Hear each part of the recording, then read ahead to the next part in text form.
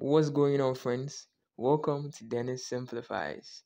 In this video, we are going to compute for the sum of the first even and odd integers of a number in C++.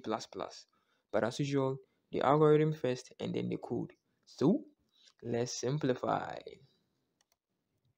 Devise a computer solution that reads in a positive integer n and then prints the sum of the first n even integers and the sum of the first n odd numbers to the algorithm. We are going to ask the user to input the value of n since we don't know what n is. Then from there, we are going to create two empty variables. The first one to store the sum of the first even numbers and the second one to store the sum of the first odd numbers. Now the question says that our solution should read in a positive integer. So to check this, we ensure that n must be greater than 0. So we say if n is greater than 0, then the sum of the first even numbers equals n times n plus 1. And the sum of the first odd numbers equals n to the power 2. nf. Now from here, we print our results. So the sum of the first n positive integers is even, and the sum of the first n positive odd integers is sum odd. Now, how did I come up with these two formulas for sum even and sum odd? From the general arithmetic progression formula for summing numbers, we have n over 2 times 2a plus n minus 1d, where a is the first term and d is the common difference. Now, for even numbers, we know that the first term is 2 and the common difference is 2 again. So when I insert this into the formula and simplify, I'm going to get n times n plus 1, which is the formula I had here for computing the sum of the first even numbers.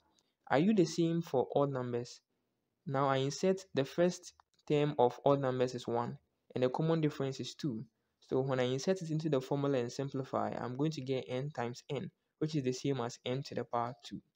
Now let's try some values and see how our formula actually works. So if I insert n to be 5, that means I'm, i want to find the first 5 even, the sum of the first 5 even numbers.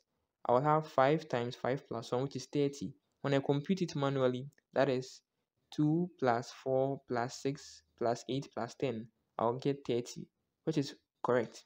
And when I find the first 5 odd, the sum of the first 5 odd numbers, that is 5 times 5, which is 25. We check by saying 1 plus 3 plus 5 plus 7 plus 9, which is this, which is 25.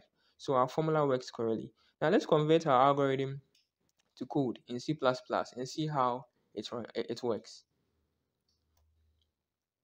So in the int main function, because I'll be using the power function, I, I declared the um, the CMath library. So I say include CMath. So I, I included the CMath library because I'll be using the power function. Now I declared and sum even and sum odd to be integers and initialize sum even and sum odd to be 0. Then I take the integer value for n from the user.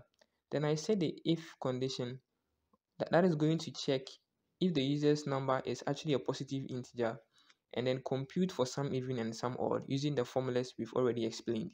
Then I print out my results. And then I end my code with system pause is greater than 0 to ensure that only the information we need will be displayed and then return 0 by custom. So now let me input a value for n and we see how our code runs. So you say enter enter the number. So I entered 3. I want to find the sum of the first three positive integers and the sum of the first three positive odd integers. Now what do I have? I have the sum for the even integers to be 12 and the sum for the odd integers to be 9. That is, for the even integers, that will be um, 2 plus 4 plus 6, which is 12. And then for the odd integers, that will be 1 plus 3 plus 5, which is 9. So our code is running properly. Alright friends, that's it for this video. Don't forget to like and subscribe. See you in the next video. Till then, uh, party!